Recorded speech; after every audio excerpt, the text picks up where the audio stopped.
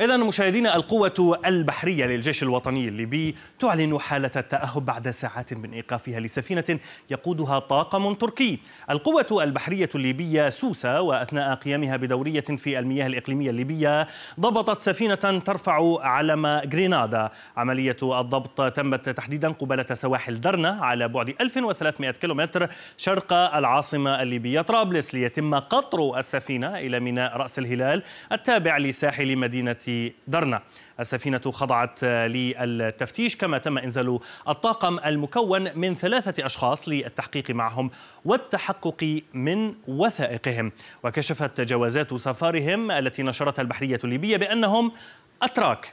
الجيش الليبي كان قد حذر في وقت سابق السفن التركية من انتهاك السواحل الليبية.